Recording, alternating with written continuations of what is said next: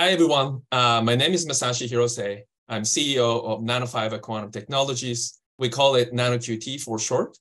Today, I am joining you from Tokyo, Japan. It is my great pleasure to talk about NanoQT today.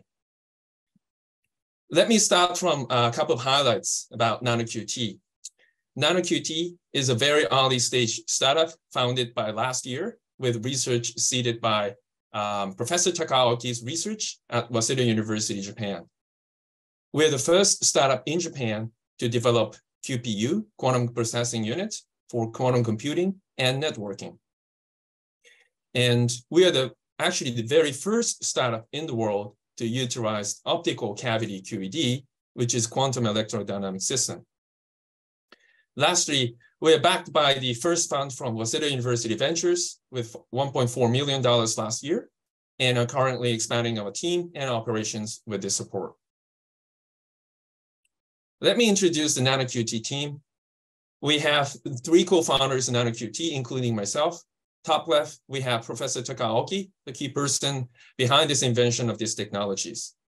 Third photo is Dr. Goban, our CTO, a brilliant scientist and people leader, integrating the cavity QED system with the cold atom technique. He was educated and trained at Caltech under Dr. Jeff Kimble and Dr. Junier Agila. Below of Dr. Goban, you see Richard Ogawa, who is American prominent patent lawyer in Silicon Valley. Additionally, we have um, five top-notch PhD scientists who joined this year, and we expect to make double um, our team size in the coming year. NanoQT's vision is to develop the quantum network. To achieve this, we are developing so-called the connectable uh, quantum processing units which can operate as both quantum computer and also quantum repeaters. Our QPU is quite unique in terms of capabilities to be connected and integrated into optical fibers. We believe that these capabilities will be the key to elevate scalability to the next level, enabling distributed quantum computing and quantum repeaters. So what are the key challenges in developing quantum computers? We believe that these arises from two aspects. First, we need to develop QPU, which operates in a distributed setting to enable the protocol such as entanglement swapping, purification, and quantum memory.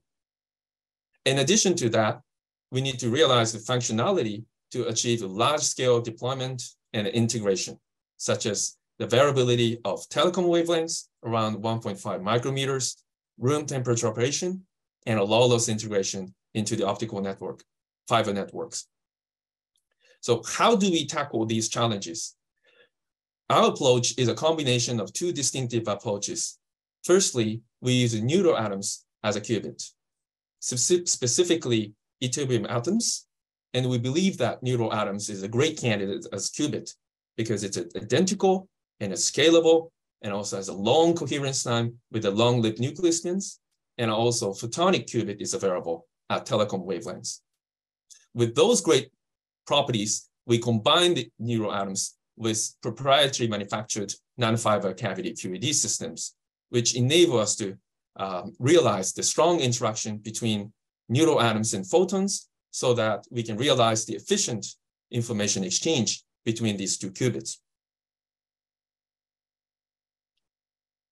Lastly, uh, let me briefly talk about our outlook.